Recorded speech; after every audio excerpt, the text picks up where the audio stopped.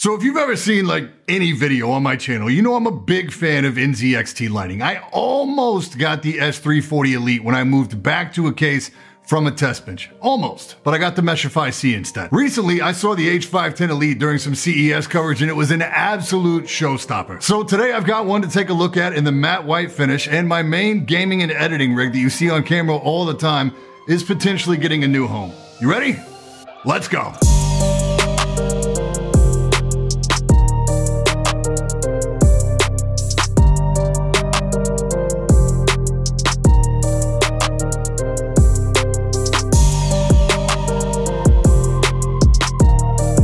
This video is brought to you by Mayflower Electronics, makers of the Mayflower ARC gaming DAC amp for Windows, Mac, Linux, and the PS4. Offering a 2496 DAC, a mic input, and a full watt of power at 32 ohms in a single unit, the ARC can power even your most challenging headphones. It's driverless, handmade here in the US, carries a 10-year warranty, and right now through July 31st, you can use code BADSEEDTECH to save 5% off your purchase. Check out the ARC at MayflowerElectronics.com. Yo, I'm Brian P. You're watching Bad Seed Tech, and today we're taking a look at the H510 Elite compact mid-tower case from NZXT. For transparency, this was sent out for review, but as you should know by now, doesn't affect my review in any way. The H510 Elite leads the new refresh, which also includes the baseline H510 at $69.99 and the H510i at $99.99. The i designation indicates the newly revised NZXT smart device, and the H510 Elite expands on that design by including the smoke tempered glass front panel, as well as two 140mm Aer 2 RGB fans. You also lose one RGB strip moving from the H510i to the the H510 Elite, which is odd. The Elite, which comes in either matte white or matte black, is the flagship and packs some flagship pricing too at $149.99 outside the US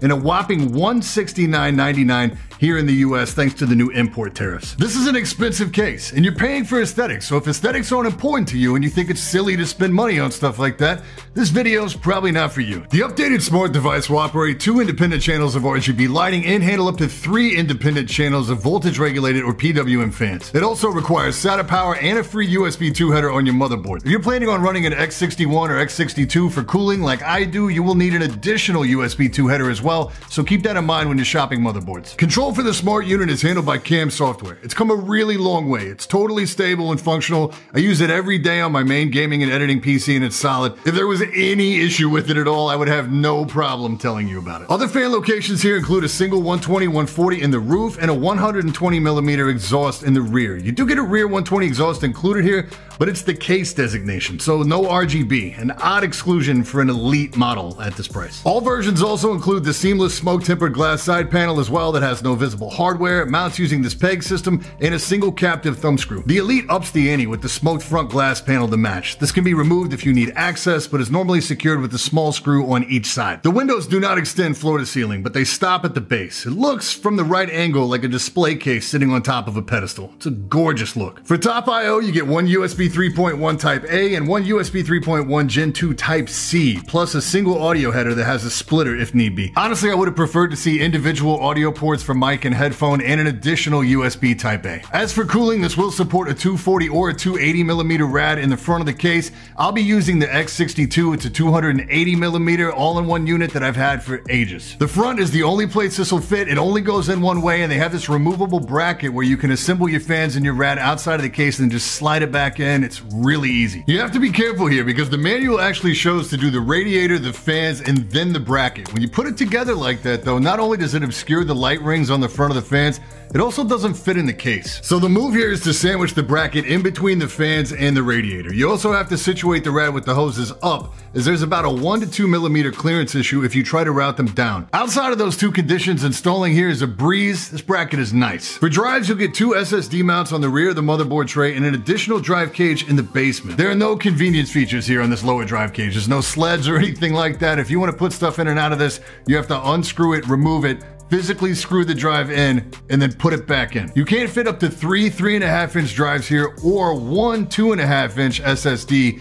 and two three and a half inch hard drives. In a missed opportunity here, they could have drilled SSD mount holes in the other side as well, allowing you to mount one additional drive inverted. You can mount SSDs on the PSU shroud as well, but they require additional drive sleds that aren't included. So if your system runs purely SSDs, you're going to be limited to three here, which is really rough at this price point. One of the major concerns I had moving from the Meshify C to the H510 Elite was obviously airflow. The glass structure immediately gives the impression of a choking hazard, but if you watched any of the videos for the H500, you'll find the design here to be very similar. So you have a full-length filtered intake that runs along the outside panel. The bottom is also open, filtered as well, and the feet make the case sit high enough to where it can really draw air in through the bottom as well, provided you're not choking it out with carpet. And there's a fairly large recess between the glass and the front of the fan, so this whole area up front is designed to take advantage of this. The other area that concerned me was losing the second 140 millimeter fan location in the roof, so I decided to temperature and noise test my Meshify C before teardown, and then run the same tests on the completed build in the H510 Elite. To some degree, you're to need to take this next part with a grain of salt here, because the Meshify not only has an extra 140 mil fan in the roof,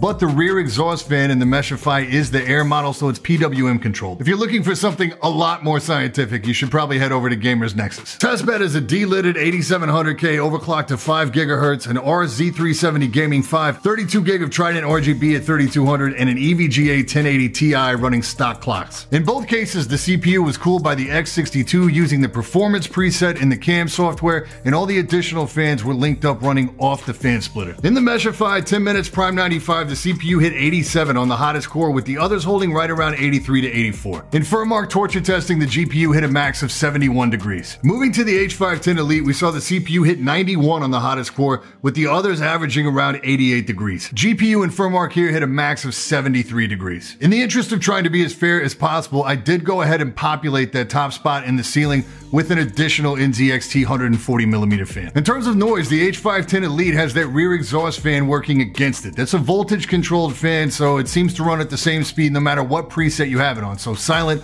or performance, doesn't matter, runs at the same speed, makes the same noise, so the completed build runs about 3 to 4 decibels higher than the build in the Meshify. Again, it's not the most scientific test, but it would be tough for any case really to be able to beat the amount of airflow coming into the radiator of the Meshify. Whether it's more restrictive intake or a smaller path for air to exit, Meshify takes it. In terms of the build process itself, it was really straightforward. Plenty of room to route cables on the top of the motherboard as well as on the lower side. There's actually tons of room here for power and SATA cables as well.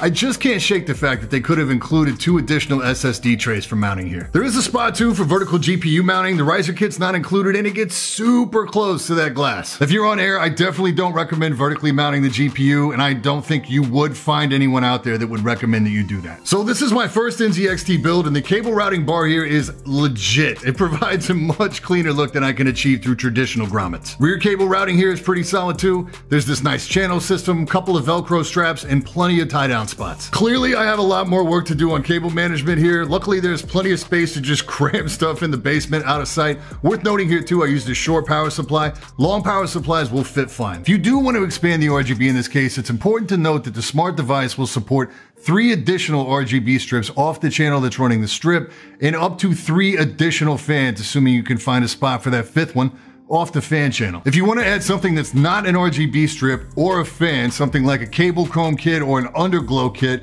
you can't do that, but you're going to have to upgrade from that smart device that's included to a standalone Hue 2 module. This module is magnetic. It'll fit right on top of the drive tray down there. In the basement really is the only room for this. There's not really a place on the rear of the motherboard tray for it. And just be aware that if you do this, you're going to have to run additional power off your power supply from Molex. So I'm not a big fan of the lack of SSD mounting locations, the limited front I.O., the fact that the rear exhaust is not an Aer RGB fan, and the lack of the additional spot in the roof to put another 140 millimeter fan. I really like the all steel and glass construction. I love the radiator mounting bracket. I love all the cable routing channels on the back, and I really like all the access around the motherboard when you're building. I gotta say, I'm spoiled by the Meshify C. It's not perfect. The glass panel system could really use a revision, and some of the routing from the motherboard can be challenging the top and the bottom, but the amount of gear it can hold for its footprint is crazy. Five total SSD spots and room for five fans. There's no flash there's no RGB, so if you compare it to the H510 in its base form, it's also $30 more expensive as well. With the H510 Elite, what you're paying for here is the look. It's not a bad case by any stretch, it just feels like what it is a 70 or $80 case loaded with expensive dress up parts. In the US, you're paying $100 over the baseline H510 for a smart device with limited functionality versus the Hue 2, two RGB fans, a tempered glass front panel, and a light strip, which depending on how much of an emphasis you put on looks could or could not constitute a value. RGB accessories from most major manufacturers aren't cheap. The Hue 2 standalone module itself is $70. I have personally spent a small fortune outfitting the Meshify C with literally the same dress up parts. Tempered glass and RGB just pushes up the price tag. Fractal Design's S2 Vision case is almost $100 more than the base model S2, fetching almost $240. And of course, you also have to weigh in the impact of the tariff here. It'll be really interesting to see how this continues to affect US pricing. Nonetheless, if you're chasing an aesthetic, this is a great look, and it's the only place to get it. Big thanks to NZXT for sending this out for review. Not sure when we're gonna see wide availability on this thing, so I'll put whatever links I have down in the description. Any questions over anything I covered today, hit me up in the comments or drop by the Discord. And that's it for this time. I'm Brian P. Thanks so much for watching. And until next time, stay up.